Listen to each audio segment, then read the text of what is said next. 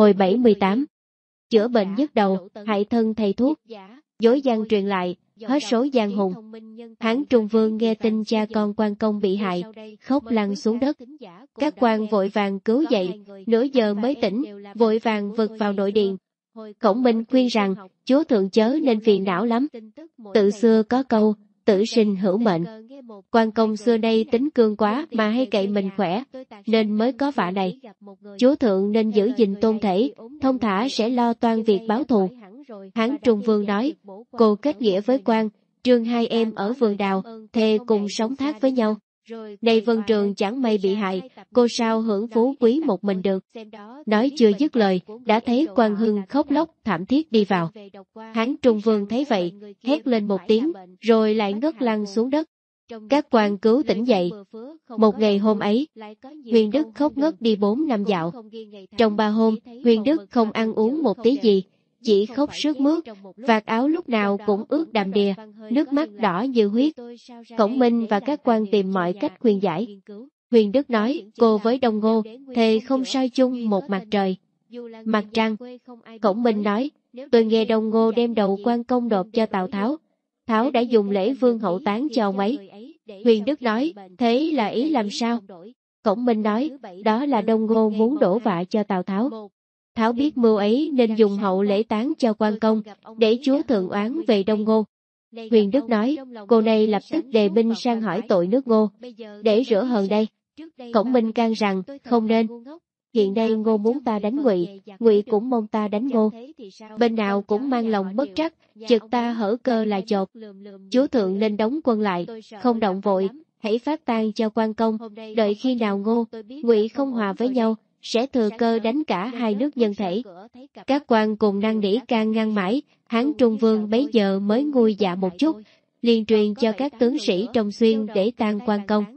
Hán Trung Vương ra tại cửa Nam, bày đồ cúng tế, làm lễ chiêu hồn, khóc lóc cả ngày.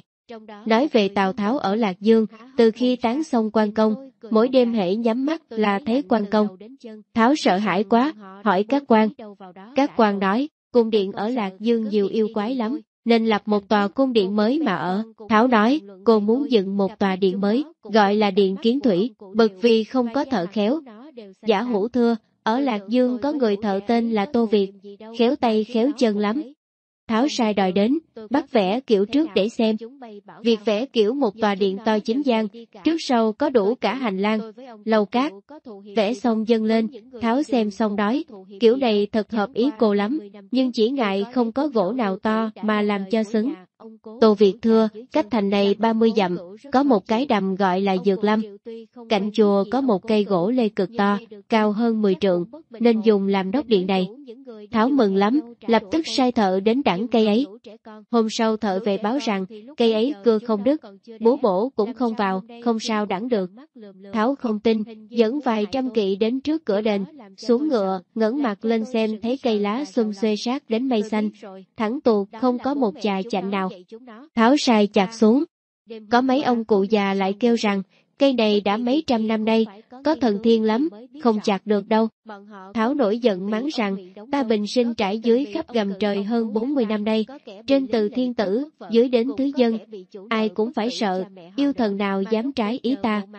Nói xong, liền rút gươm ra chặt mấy nhát, thì thấy có tiếng kêu sang sảng, máu chảy ròng ròng ở thân cây. Tháo sợ hãi, quẳng gươm lên ngựa, về cung.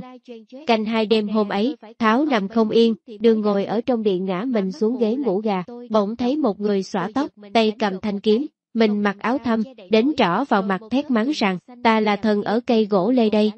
Mày làm đền kiến thủy, sắp muốn cướp ngôi nhà Hán, dám đến chặt cây thần của ta. Ta biết số mày sắp hết, nên đến giết mày đây. Tháo giật mình vội hô lớn, võ sĩ đâu cả, chúng bay. Tháo kêu chưa dứt lời, người ấy cầm gươm toan chém Tháo một nhát. Tháo hét to một tiếng, giật mình tỉnh dậy, thấy đầu nhức như búa bổ, không sao chịu được. Tháo sai đi cầu những danh y về chữa, cũng không thấy khỏi. Các quan đều lo lắng. Hoa hâm vào tâu rằng, đại vương có biết thần y hoa đà không? Tháo hỏi, có phải người chữa cho chu Thái ở Giang Đông chăng? Hâm nói, chính phải. Tháo nói, Người ấy thì cô cũng nghe tiếng, nhưng chưa biết nghề nghiệp hắn ra làm sao. Hầm thưa, hoa đà tên tự là Nguyên Hóa, người ở tiêu quận, nước bài, nghề thuốc cực tài, trong đời hiếm có. Phạm những người nào có bệnh hoặc dùng thuốc, hoặc mổ hoặc chích, hơi động tay vào là khỏi.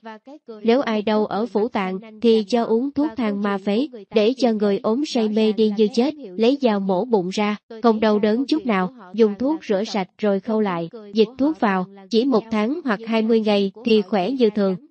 Đài chữa bệnh gì cũng tài tình như thế, một bữa, Đà đi ngoài đường, nghe có tiếng người rên khừ khừ. Đà nói, đây là bệnh ăn uống không tiêu đây, hỏi ra thì quả nhiên như thế. Đà sai vắt ba bát nước hẹ cho uống. Người ấy uống xong, thổ ra một con rắn dài hai ba thước, bấy giờ ăn uống mới tiêu. Quan thái thú Quảng Lăng là Trần Đăng, trong bụng buồn bã khó chịu, ngoài mặt thì đỏ như gất, không ăn uống gì được, mời Đà đến xem bệnh. Đại cho uống thuốc, đang thổ ra ba đấu trùng, con nào cũng đỏ đầu, mà đầu đuôi cựa quậy được. Đang hỏi, đã bảo rằng bệnh này là ăn nhiều cá gỏi, cho nên sinh ra lắm trùng, tuy chữa khỏi được bây giờ, nhưng ba năm nữa tất nhiên lại phát, không sao chữa được nữa. Sau ba năm, đang quả nhiên lại sinh bệnh ấy rồi chết. Lại có một người trên lông mày có một cái bướu, ngứa quá khó chịu, mời đà xem, Đà nói, trong cái bướu ấy có một vật biết bay, thấy nói thế ai cũng cười. Đà lấy dao mổ xem, quả nhiên một con chim sẻ vàng bay ra. Người. Ấy khỏi bệnh, lại có một người bị chó cắn vào chân, chỗ đâu mọc lên hai khối thịt, bên thì buốt, bên thì ngứa, không sao chịu được. Đà xem bệnh bảo rằng, bên buốt, ở trong có 10 cái kim, bên ngứa, ở trong có hai con cờ, một con đen, một con trắng. Mọi người không tin, đà mổ ra, quả nhiên có thật. Người ấy giỏi thuốc chẳng khác gì biển thước, sương công khi xưa. Hiện nay người ấy ở Kinh Thành, sao đại vương không cho triệu đến? Thảo mừng lắm, lập tức sai người đi mời Hoa Đà về bắt mạch coi bệnh. Đà nói, đại vương nhức đầu vì nhiễm phải gió độc, bệnh ở trong ốc, không thoát ra được, uống thuốc cũng uống mà thôi. Tôi có một phép này, trước hết uống than ma phế, rồi lấy búa mổ ốc ra, nào hết rải gió độc đi, thì mới triệt hết được nọc bệnh. Tháo giận mắng rằng, ngươi muốn giết ta sao? Đà nói, đại vương có biết chuyện vân trường không? Cánh tay phải ông ấy bị trúng tên thuốc độc, tôi cạo xương chữa thuốc, mà ông ấy không sợ hãi chút nào. Đây bệnh đại vương mới một tí, việc gì phải đang nghi làm vậy?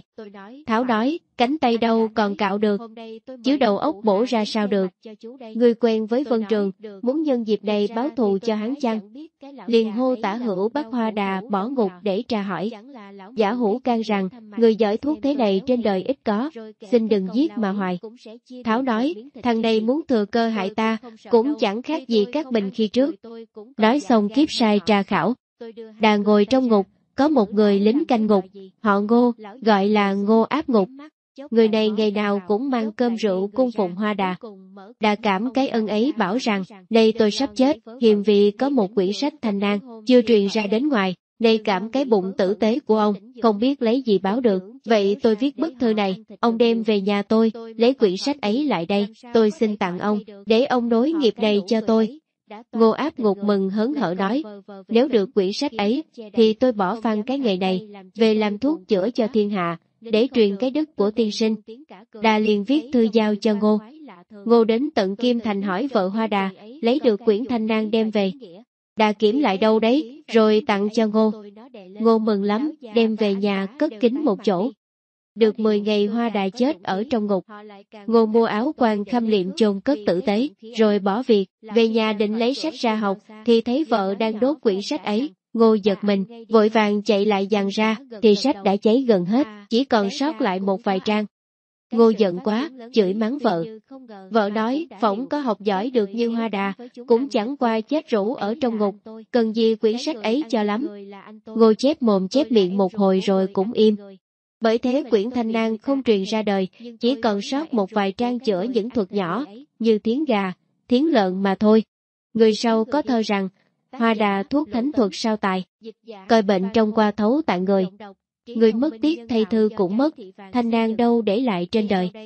Từ khi Tào Tháo giết hoa đà xong, thì bệnh mỗi ngày một nặng hơn. Tháo lại phải lo thêm việc ngô, thuộc nữa. Đang lo nghĩ, chờ có sứ giả ở Đông Ngô mang thư đến. Tháo mở ra xem, trong thư nói rằng, thần là tôn quyền, biết thiên mệnh về chúa thượng đã lâu. Vậy xin chúa thượng lên ngay ngôi hoàng đế cho sớm, mà sai tướng ra đánh lưu bị, để quét sạch hai xuyên đi. Thần xin mang văn võ, nộp đất theo hàng ngay lập tức. Tháo xem xong, cười lớn, giơ thư ra bảo quần thần rằng, thằng này muốn để cho ta ngồi trên lò lửa đây. Thị trung là Trần Quần Tâu rằng, nhà hắn lâu nay suy yếu lắm. Công đức của điện hạ cao vòi vọi, nhân dân ai cũng trông vào cả. Đây tôn quyền đã xưng thần xin hàng, thì biết rằng lòng trời và bụng người đều theo về với điện hạ rồi. Điện hạ nên ưng ý trời, thuận lòng người, lên ngôi tôn cho sớm. Tháo cười, nói, Cô thời nhà Hán đã lâu, tuy có công đức với dân, nhưng cô làm đến vương tước, danh vị cũng đã cực phẩm rồi, còn mong gì nữa.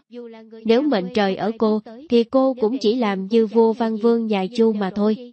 Từ mã ý nói, nay tôn quyền đã xưng thần chịu hàng, chúa thượng nên phong quan tước cho hắn và sai đi đánh lưu bị. Tháo nghe lời tâu, phong cho tôn quyền làm phiêu kỵ tướng quân, hầu nam xương lĩnh chức mục ở Kinh Châu. Bệnh Tháo mỗi ngày một nặng thêm. Một đêm Tháo nằm mê thấy ba con ngựa cùng ăn chung một máng cỏ. Sáng dậy, Tháo hỏi giả hủ rằng, cô khi trước đã mơ thấy ba con ngựa cùng ăn một máng, nghi là cha con mã đang làm hại. Nay mã đang chết rồi, đêm qua lại mơ thấy thế, hay dở ra làm sao? Hủ thưa, lộc mã cũng là điềm hay, lộc mã về nhà tàu, chúa thượng can gì phải nghi. Tháo bởi thế không nghĩ gì nữa. Người sau có thơ rằng, lạ thay. Giấc mộng ngựa cùng tàu, điềm ứng rành rành tấn đối tàu. Tàu Tháo giang hùng sao ấy nhỉ, ngựa ngay trước mắt, mắt trong đâu. Đêm ấy Tháo nằm nhà trong đến canh ba, đầu óc choáng váng, tinh thần bàng hoàng. Bỗng nghe ở trong điện, có tiếng sàn sạc như xé vải. Tháo sợ trong xem, thì thấy Phục Hoàng hậu, Đổng Quý Nhân cùng bọn Đổng Thừa, Phục Hoàng, hơn 20 người, mình mẩy máu me, đứng thập thò trong đám mây đen, văng vẳng có tiếng đòi mạng. Tháo giật mình, vội vàng rút gươm quăng lên, thì thấy nổ ầm một tiếng, sạc mất một gốc điện mé Tây Nam. Tháo khiếp quá ngã sắp xuống đất, quân hậu cận vào cứu, vượt sang cung khác dưỡng bệnh. Đêm hôm sau, Tháo lại nghe ở ngoài điện, tiếng trai gái kêu khóc như ri. Đến sáng, Tháo triệu quần thần vào cung bảo rằng, cô song pha trận mạc hơn 30 năm, chưa từng tin việc ma quỷ, này làm sao lại có chuyện thế này. Quần thần tâu rằng, đại vương nên sai thần phù thủy, lập đàn cúng lễ để trừ ma quỷ đi. Tháo chép miệng, than rằng, thánh nhân đã nói, bị tội với trời, dẫu cúng cũng vô ích, cô này số mệnh đã hết, còn cúng làm sao? Nói rồi, không cho cúng cắp nữa. Hôm sau, Tháo nghe trong mình khí bốc lên quán cả mắt, không trông thấy gì cả. Kiếp sai đòi hạ hầu đôn đến bàn bạc. Đôn đến trước cửa điện, bỗng trông thấy Phục Hoàng hậu, Đổng Quý Nhân, hai hoàng tử và bọn Phục Hoàng, Đổng Thừa, đứng cả ở trong đám mây mù. Đôn giật mình, ngã quay xuống đất. Tả hữu vực dậy đem ra, từ bấy giờ mắc bệnh. Tháo đòi bọn Tàu Hồng, Trần Quân, Giả Hữu, Tư Mã Ý, cùng đến cả trước chỗ giường nằm, dặn dò việc mai sau. Bọn Tàu Hồng cúi xuống tâu rằng, Đại Vương nên giữ gìn ngọc thể, chẳng mấy bữa nữa chắc khỏi. Tháo nói, cô tung hoành trong thiên hạ hơn 30 năm, bao nhiêu kẻ cường bạo trừ được sạch cả rồi, chỉ còn tôn quyền ở Giang Đông, Lưu bị ở Tây Thục. Nay bệnh cô đã nguy lắm, không bàn được nhiều nữa, chỉ đem việc nhà nhờ cậy các ngươi mà thôi. Còn trưởng cô là Tào Ngang do Lưu Thị sinh ra, chẳng may mất sớm ở Uyển Thành, biện thị sinh được bốn con, Phi, Chương, Thực, Hùng. Cô xưa nay vẫn yêu con thứ ba là Thực, nhưng đó hay huênh hoang, không được thực thà, lại ngông nghênh chè rượu, cho nên cô không lập làm thế tử. Thằng thứ hai là Chương, thì có khỏe mà chẳng có khôn. Thằng thứ tư là Hùng thì lắm bệnh khó thọ. Chỉ con trưởng là Phi có bụng thành thực, kính cẩn, có thể đối nghiệp cô.